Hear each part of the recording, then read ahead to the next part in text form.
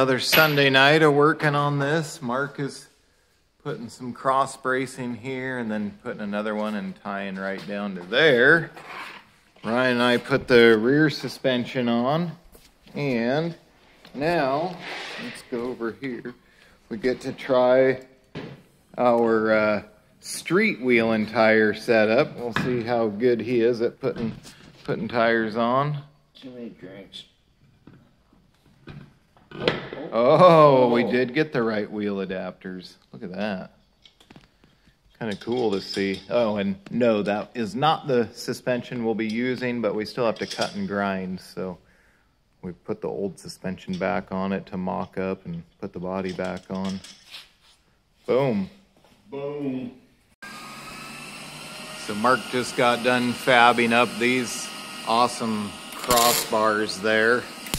Now to tack them in and then weld them up and we are getting well on our way to finishing the tubing for the front.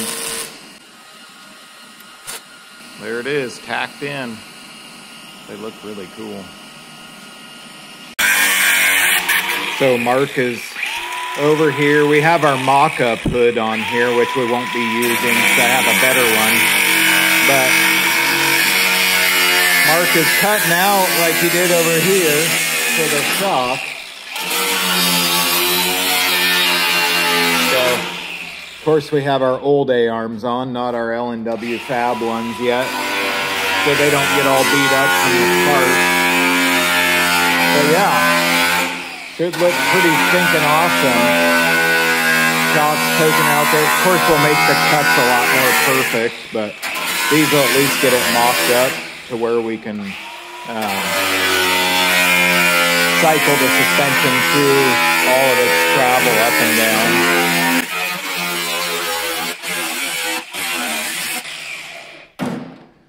As is typical, we're just making a lot of noise in the shop.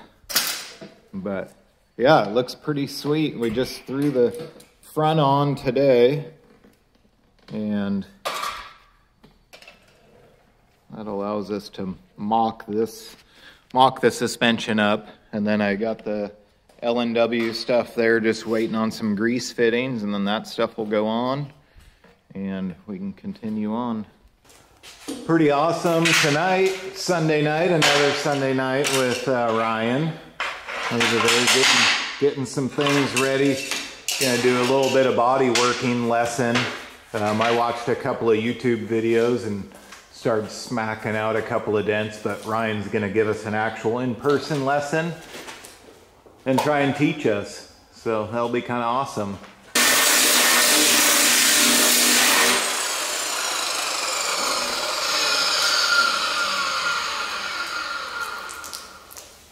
So what he's doing here is shrinking the metal. Trying to electrocute myself. Trying to electrocute himself, you know, working in a puddle of water, kicking the hose around.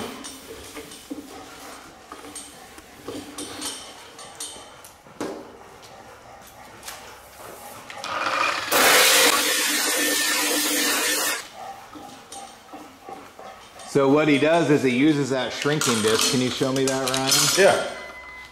So he uses the shrinking disc, that spins around, heats up the metal and shrinks it so it takes out the high spots there. Just a little hammer and So you heat it up and then you use the old uh, wet, wet towel or rag and cool it off.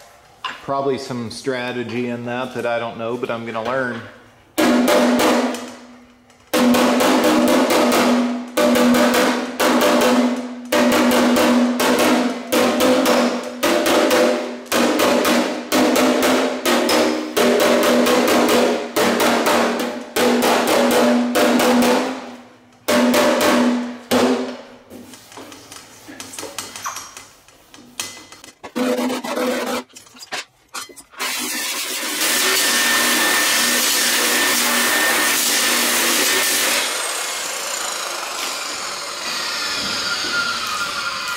Really, it'd be ideal to have all the paint off, but we're just doing a quick lesson here, so keeping it minimum as possible.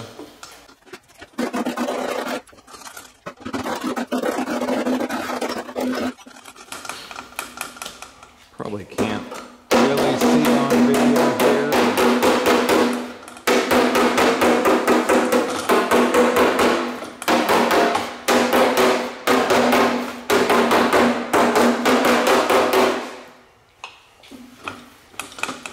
eye spot's getting quite a bit smaller. So I listen for the ring, so I know right where it's at. And I don't push up. Do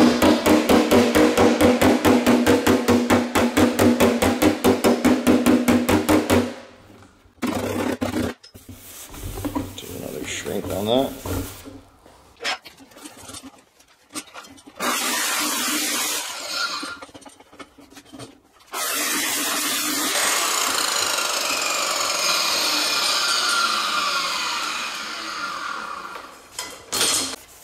And it feeds on the reel a lot better. Yeah, it seemed to work good. So here you can see Ryan using a Sharpie across there.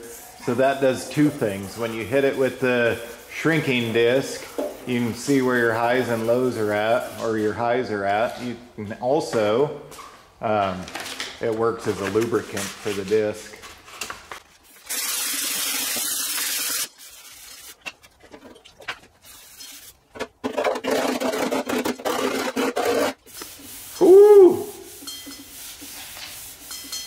Maybe I'll drop in a couple of photos of uh, Feel that? Ryan's banging credentials so you could see how well he did his dealy bob. We can try the bullseye pick on those. So we're really good on those. What are you working on, Ryan? Uh, 36 Chev pickup. And it looks pretty amazing. I'll drop some pictures in.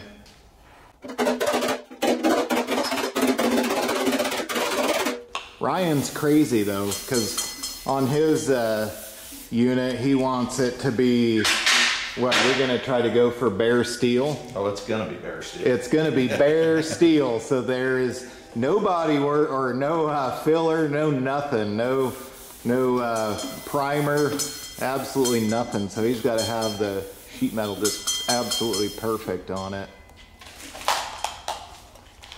Let's shrink again.